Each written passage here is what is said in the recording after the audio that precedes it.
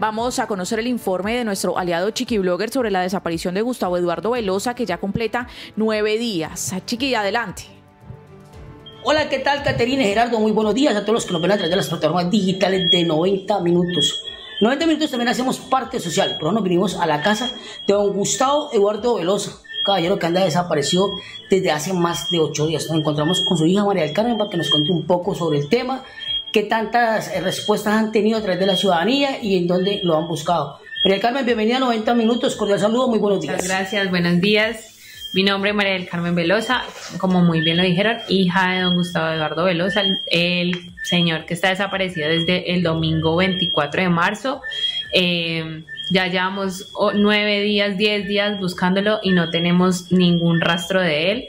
La ciudadanía aparentemente lo ha visto, nos han contactado, que han visto un señor, que han visto otro señor, pero los, eh, los rasgos que nos describen no siempre son los que describen a mi papá como tal. Entonces, hasta ahora no hemos tenido ningún rastro de él.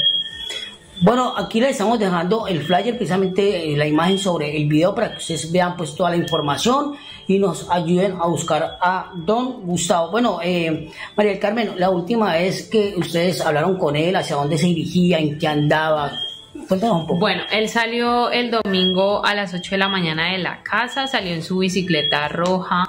Eh, le dijo a mi mamá que iba a hacer una ruta larga, no supimos hacia dónde iba a ser la ruta larga. Cuando eh, un tío lo observó montando bicicleta en la recta Cali-Palmira, pero ya de regreso hacia Cali, por la bomba Primax que queda en ese sector.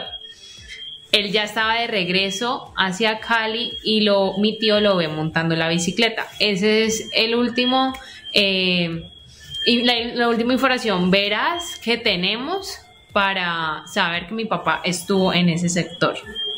Bueno, ¿en qué lugares lo han buscado? ¿Ya han ido de pronto a alguna clínica, hospitales? O sea, ¿han ido Toda la semana y desde el mismo domingo que se desapareció, lo buscamos en todos los hospitales de Cali, hospitales, clínicas, eh, lugares de donde llevan a las personas de pronto accidentadas eh, justamente ese domingo pasó un accidente de un señor que fue arrollado por un carro. Ese señor no fue. Nosotros investigamos si no éramos. Hemos investigado en medicina legal.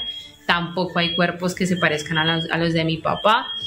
Eh, hemos estado buscando en todos los barrios aledaños a la vía de la recta, hemos hecho la caminata de la recta con mis familiares y tampoco hemos encontrado nada de él. Hemos ido a los pueblos que están cerca Palmira, en la misma Palmira, en los hospitales de Palmira y no aparece. Bueno, Caterina y Gerardo, otros que nos ven a través de las plataformas digitales, no se queden con información, por favor compartámosla para que entre todos encontremos al señor Gustavo Eduardo Velosa, que ya hace más de ocho días está desaparecido.